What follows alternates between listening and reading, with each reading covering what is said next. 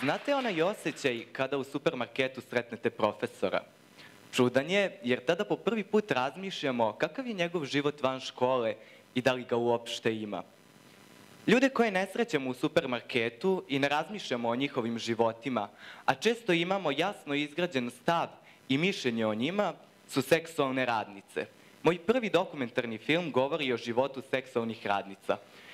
Kakav je njihov život, koje oni uloge u životu imaju i zašto im je toliko važno da nam se prikažu kao osobe koje se ne bave samo seksualnim radom, nego imaju svoje živote i trude se da uspeju u onome što su namerile.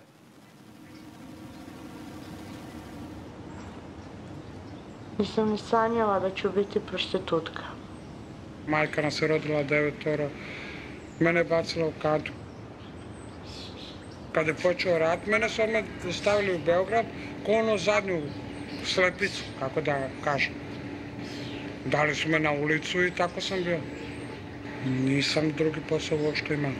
Ja sam išla od kuće do kuće. Kod babe sam živala, kod nje sam bila prodavala ruže, gde god sam išla ja sam radila. I tako baš sam stvarno imala loše ljutinstvo i na primjer zato sam se i tako rano i udala.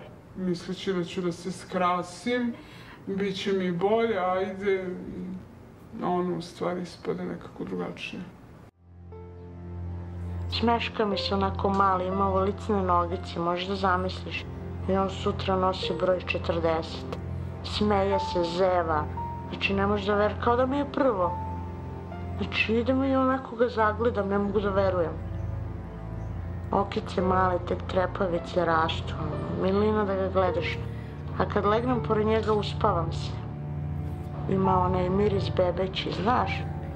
I onda se uspavam, a slatko je. Slatko je. Lepo je. Samo deca. Verovatno sam se njima prepustila, znaš.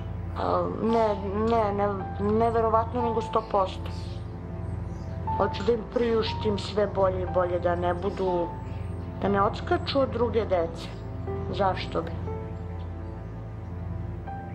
Ako bi neko saznao da sam, da se bavim prostitucijom, možda neki njegov drug, majka njegovog druga, nastavnica, da bi to kod njega sve promenilo. Imala sam ovaj problem gde su tukli mene i dete. E, tri žene i jedan muškarac.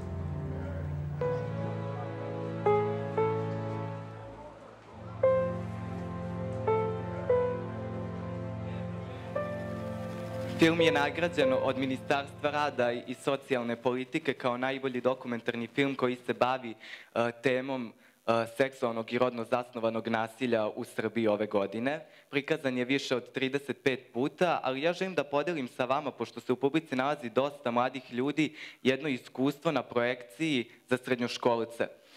Oni su došli da gledaju film i zaista im je bilo bitnije da se zabave i da se nekako istaknu u toj grupi ljudi, tako da su sve vreme nešto odbackivali, pričali, bilo im je prosto simpatična situacija da mogu da razgovaraju međusobno, sve dok im ja nisam posle projekcije filma postavio pitanje šta misle kakav bi njihov život bio da nisu imali uslove u kojima su odrastali.